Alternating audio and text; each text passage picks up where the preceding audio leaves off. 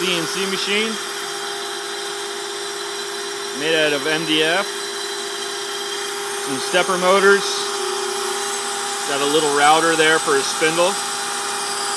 That basically skateboard bearings for linear bearings. Got a little vacuum system on it to keep the dust down. And here's our power supply and stepper motor drivers.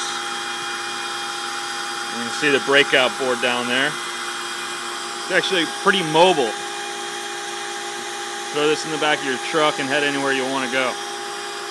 Got a laptop driving it.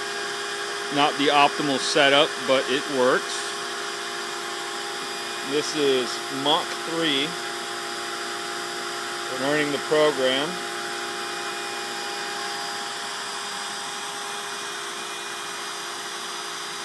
There she is.